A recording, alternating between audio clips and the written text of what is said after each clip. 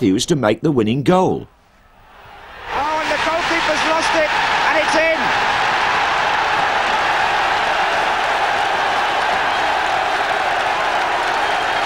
And Crombie came in there at the back, and Bolton take the lead.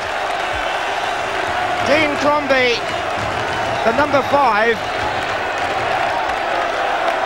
came right in at the far post here, and the goalkeeper will be disappointed, won't he? It was out of his hands virtually. Owen flicked on and out by Winstanley, and Elliott charged down, and Eyres, and there's a goal for Blackpool. It's David Eyres. It's 1-1 and suddenly the game has opened up and there's excitement all round the ground. This is uh, Brook and Matthews in a good position here, number seven. Not a bad pullback either. And Garner. Goal!